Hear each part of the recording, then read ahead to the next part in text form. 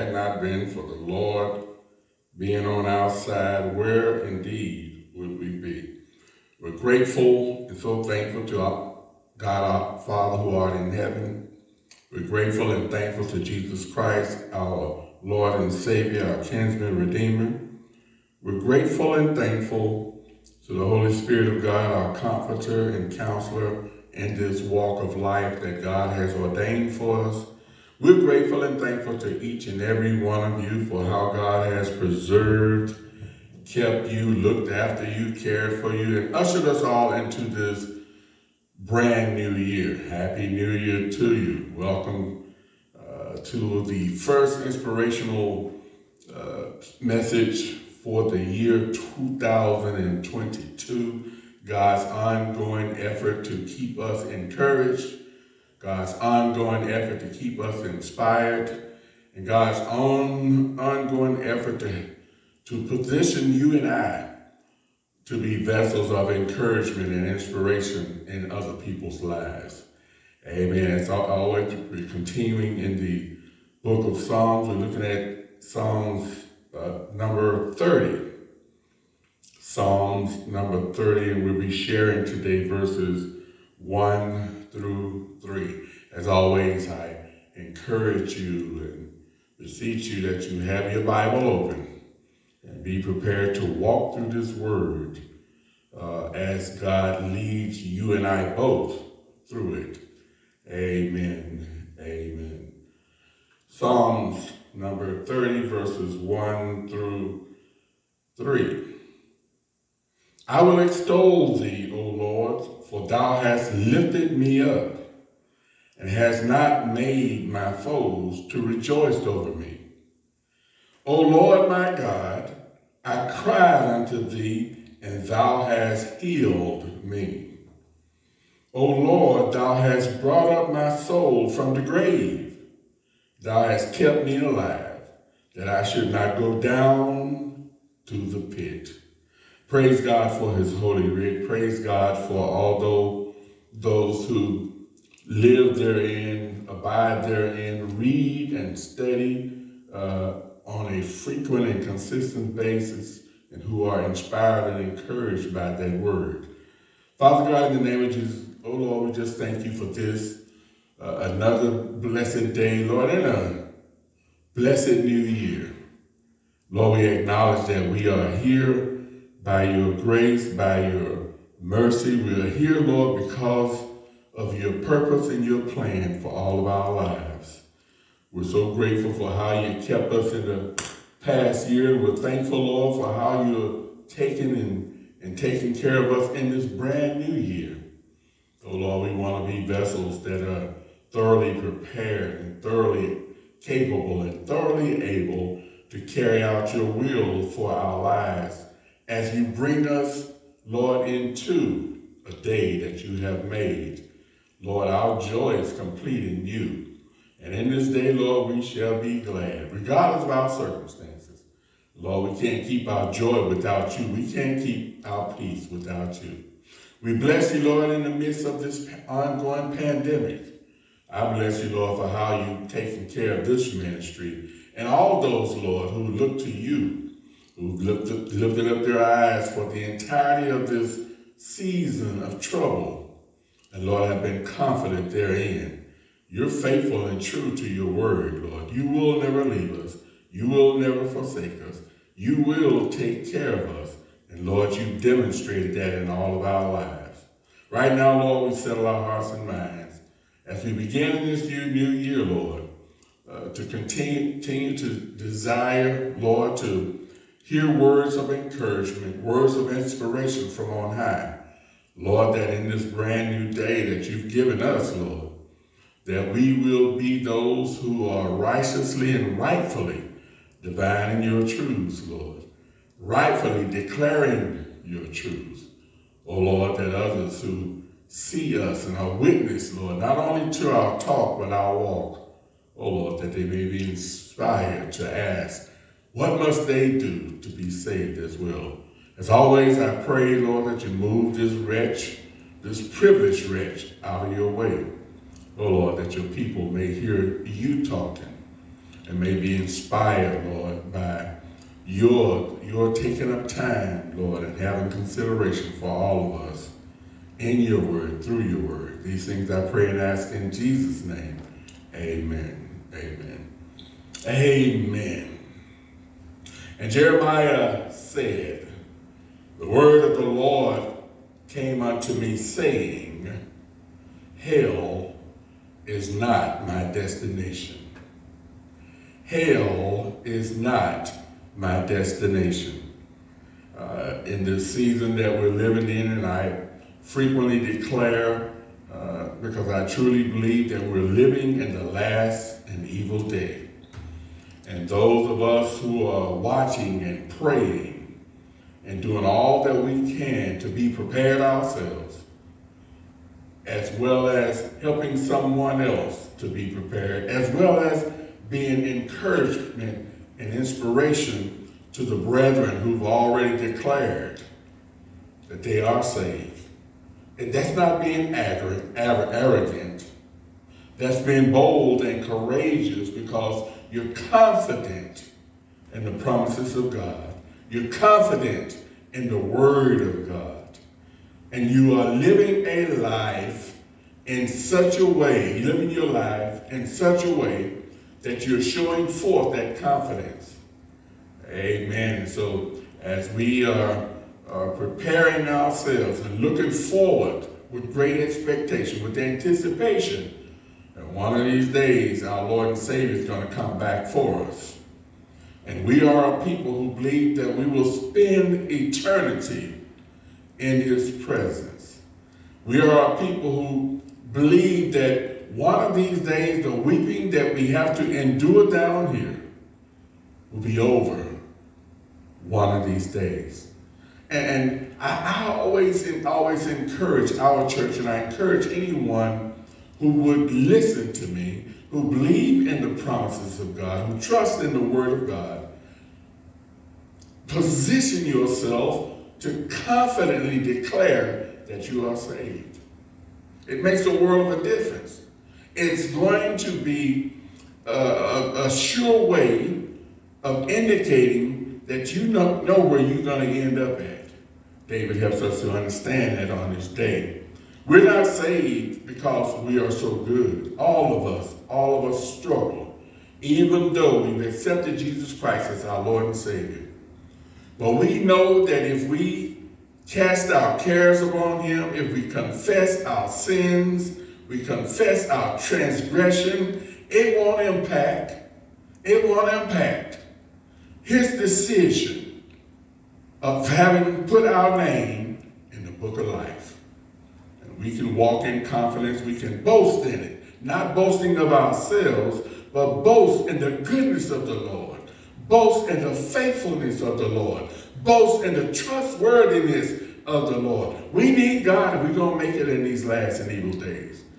And we need to have that assurance that when it's all said and done, David was one who said in that 23rd Psalms, Surely I will dwell in the house of the Lord forever. He established his confidence in God for his presence in his life, for the protection of his life, for the peace of his life, for provision in his life, and for preserving his life. And because God, David had such confidence in God, the same confidence that David, a man, declared, we as men can declare. Surely I will dwell in the house of the Lord forever. That's good news, folks. And that's the news that we ought to be perpetuating, conveying to this world, not just in our talk, but in our walking as well. And so God would have us today be reminded and to be encouraged and to continue to be inspired by his promise and as we're inspired by his promise, we live lives that show this world we know where we're going. Oh, there is an alternative. There are two places that everyone is going to end up in. And I don't bother to take time to talk about hell except in this fashion. It's not a place that I desire to go. It's not a place that I desire to see anyone go to, not even my worst enemy. However, I, I speak of hell because I believe there is a hell. But if you're confident in Jesus Christ, blood washed, baptized, born again, in the name of Jesus Christ, you can be assured that hell is not your destination. David helps us to understand that in these words today. Verse number one, David is assured because David says, God has listened to me. It's good to be in a position where you can talk to God. And all of us can talk to God. We just have to approach God in a righteous fashion. We can't go to God in a careless and, and, and calloused way. We've got to go to God acknowledging his holiness, acknowledging his righteousness, acknowledging his sovereignty over all life, not just our lives, but over all lives. And we got to go to God in a way in which he appreciates that we approach him. Not just when we get in trouble, but when we talk to him at all times, anytime, at all hours, any time of the day. And when our approach is right, he tells us, you have not because you ask not. He wants us to talk to him. But then he shows us a caveat, uh, shows us a caveat to us asking. He says, we got to make, sure we're not asking amiss.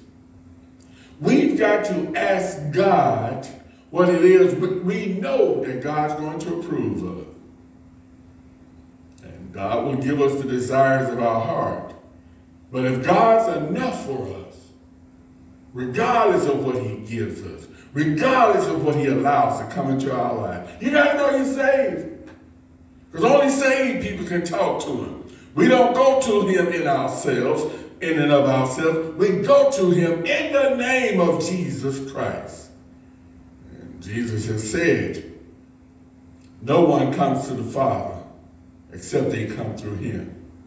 And so we've got to acknowledge the sacrifice of Jesus Christ in our lives. We got to acknowledge him giving up his life, shedding his blood, being battered and bruised for our name's sake, and taking on our sins so that we, we might have the right, the opportunity, the privileged right to talk to our Father. And David said, I, I know hell is not my destination because God listened to me. It was David who says, creating me a clean heart, renewing me a right spirit. David knew that he had to be right with God. He had to be clean in his heart before God, and he had to have the right spirit in order to have affiliation, association, and a relationship with God. And like David, we need clean hearts. The seat of our emotions, the seat of our motivation, the seat of our intentions is the heart. And God is a God who doesn't listen, just listen to what we say, or watch what we do, God judges the intent and desires of our heart. And if our hearts are right, David knew this. And so as we come into this new mercy of this day and a brand new year, fresh opportunity available to us. You're still breathing. The blood is still running warm in your veins. We say those things that and sometimes we say it ad nauseum, but do we really understand what that is all about?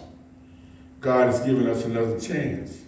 A chance to do something for him and a chance to get right with him. A chance to get our hearts aligned with his heart. Get our minds aligned with his mind. Get our spirit, his spirit that he's given us. Get it positioned to counsel us to challenge us, to chastise us, that we might have a right relationship with our Father who art in heaven. So David said, hey, listen to me. And I know David is telling the truth because it is God that said David is a man after my own heart. You and I can too, can too, be men and women after God's heart. I heard someone say this, and I agree with them when it comes to being an individual who's after God's heart. We don't want what we want. We want what God wants. And we accept God's will, His word, and His way. It may be painful at times. It may be confusing at times. We may not understand why at, at times, but it's God. It's God who knows all and who knows what's best for us all.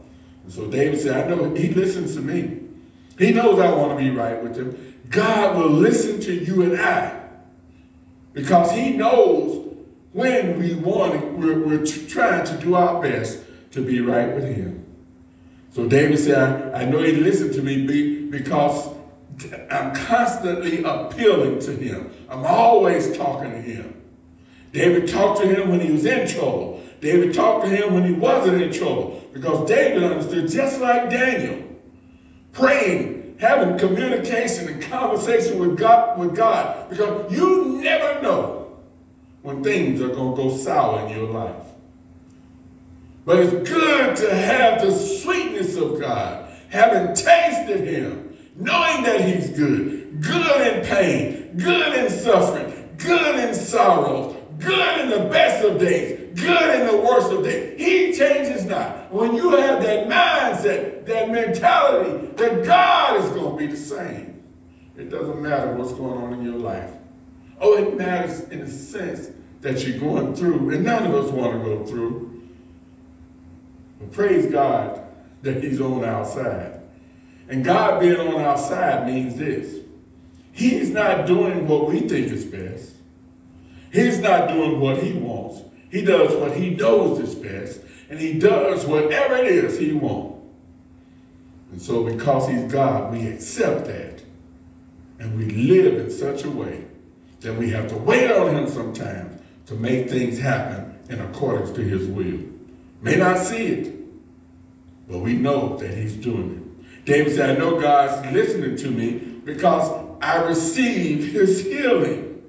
The first part of, verse number one, of verse number two says, he says this, I cried unto thee, he's listening to me, and thou hast healed me. Whatever it is that's going wrong in your life, talk to him, and he'll fix it. Talk to him, he'll make it better. Talk to him, and if he doesn't change it, he'll help you to survive and endure it. But we just got to talk to him. And healing does not always mean that it's going to be fixed in the way you want it to be fixed. There may be some pain that you got to deal with. Weeping may endure. Pain may endure. Hurt may endure. Loneliness may endure. Being isolated, uh, uh, ostracized, castigated, ill-treated may endure. But the Lord is able to deliver us from it all, and joy is going to come. It didn't say joy might come. It said joy is going to come. So we have to keep our peace and, and keep God in a place where he is our constant delight. So David says, number one, God listens to me. He hears me appealing to him. I'm talking to him, and I know I got to go to God correctly. Not only does he hear, I, I know he's listening to me in turn of my appealing to him, God provides that which is healing to me. Yeah, David was a man of many sorrows. Had a lot going on. We too, men and women of many sorrows. But when we just trust in God in all things, don't lean to our own understanding. Some stuff you can't figure out. You can't figure out why people why people mistreat you. You can't figure out why people hate you, particularly if you position yourself to be able to talk to God. Because you can't be mistreating folks and talk to God.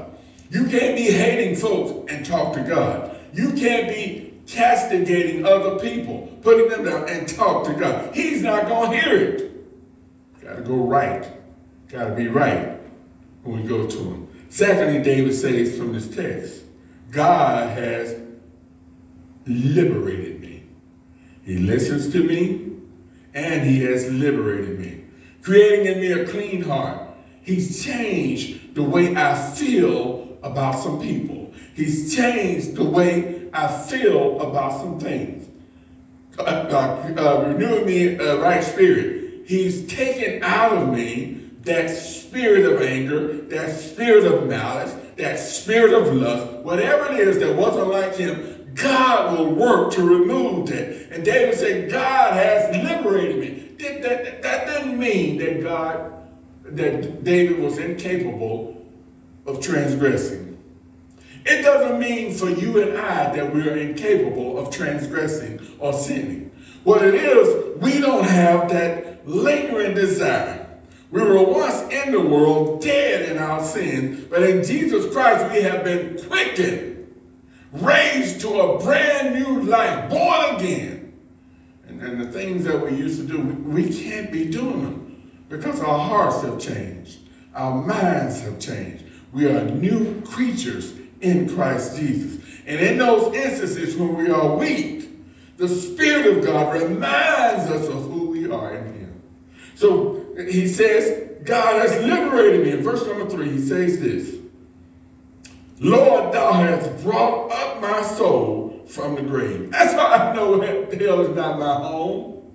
He says, Thou hast kept me alive, that I should not go down to the pit. Pit is a reference to a place they call Sheol, Sheol, and it's, and it's a reference to the place we refer to as hell. It's that place where Satan and all of his minions, all of those who refuse, receive his mark, all of those who reject Jesus Christ, all of those who will not accept his sacrifice, going to be, found, be confined to that bottomless pit. Well, But Satan knows his day is coming to an end. Those angels that followed him out of glory, they know that their day is coming to an end. There is no mechanism for repentance from them, for them. So God won't accept them back into a place where they already were. If they didn't appreciate heaven while they were there, he's not going to let them. But you and I, we have not been to heaven yet, and God has given us an opportunity to attain heaven. But we got to be correct and we got to be right with him. And David wanted to know. He said, if there's anything in me, Lord, that's not like you, Lord, show it to me. And that's what we're asking as we appeal to God. Lord, show it to us. Well, how does he show it to us? By doing what he's doing right now. Walking us through his word. And we do this in a collective sense when we assemble, but we also have to do this in a times when we are by ourselves alone, opening up God's word, exposing ourselves to God's word, that God's word may be exposed to us and we can assess and examine ourselves to see if we're in right standing with God. You, you ain't got to figure it out. God will show it to you.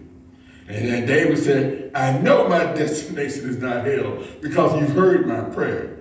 You know, Lord, that I don't want to go there. You know, Lord, that I want to live right. You know, Lord, that I want to love right. You know, Lord, that I want to serve you in spirit and in truth. That is our prayer. That is our cry. That is what we should be uh, trying to attain and inspire to do. Look, in this new mercy, we're not looking for more stuff. We're not looking to have bigger houses, fancier cars fancier clothes, more money, more money, more money. We ought to be looking to heaven, seeking first heaven and all of his righteousness. That's our number one priority. Everything else we're going to get. Quit looking at the Joneses because the Joneses may not be looking at God. We look to God, and like Paul, we've learned how to, to, to accept and be content with whatever station in life that God establishes for us. And then we look to encourage and help one another in these last and evil days. David said, God has liberated me. He, he sent Jesus Christ to be the propitiation, the price paid for my sins, your sins, and our sins. And so David says, God has liberated me. Number one, he talks about his elevation. In verse 3, he says, You have brought up my soul. Look, in this world, we were already one foot into the grave. Dead men and women walking. But in Jesus Christ, we have been quickened. We have been made alive. We have been brought to life. Don't say, I was already living. Yeah, in the world you are living. But it's a life that's leading to the pit. Only in Jesus Christ will we attain heaven. And Jesus what? Christ, we just talked about that this past week. He says, I am the way. I am the truth. I am the light. Follow me as your way. Follow me as your truth. Follow me as your life. Walk his way. Live his way. Accept his truths. Accept his life. And we will find ourselves walking around heaven, our hoped for, our longed for destination. He says not only has God been his elevation, he says God has been his salvation. Yeah, saved people ought to know they're saved. And this is, this is my challenge to you. Know you're saved. Know you're saved by assessing who you are in Christ Jesus. Do you live in his way?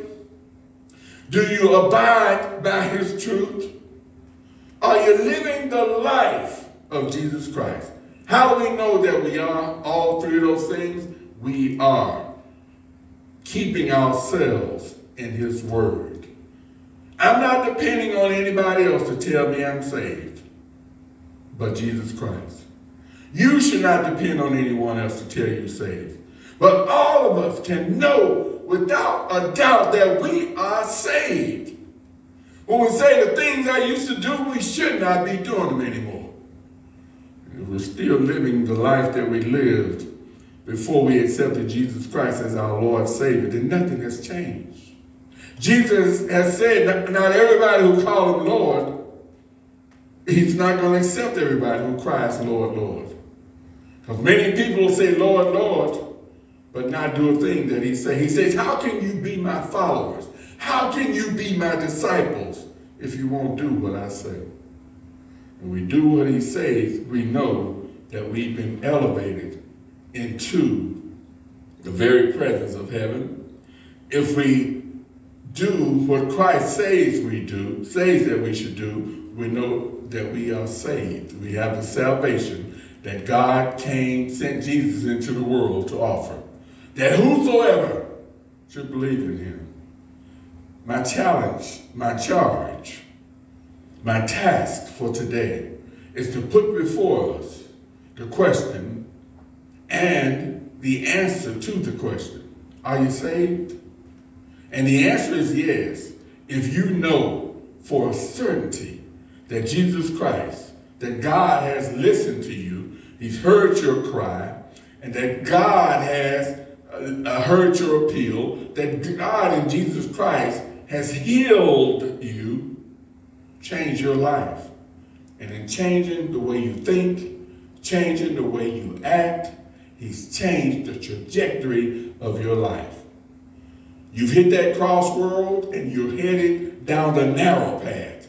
God, because he changed your life, took you off the wide and destructive road and put you on that, that narrow path that Jesus Christ has laid for those who are going to be with him in that prepared place in heaven. God has liberated all of us in Jesus Christ. We didn't do the work. We didn't work to get saved, but we do have to work out our salvation. And working out our salvation says we got to put in the work. We got to put in the action. We got to respond to his, his salvific work in such a way that we're exercising. That's what he means when he say work out your salvation. Exercising our faith. You know, if you don't get fit if you don't exercise. You don't get endurance and stamina and strength if you don't exercise. We can't become strong in our faith if we don't exercise our salvation. We can't get faith, uh, committed in our faith. We can't get long-winded, whereas we can endure things that are going to happen to us in, in this life if we do not exercise our faith, and that takes effort.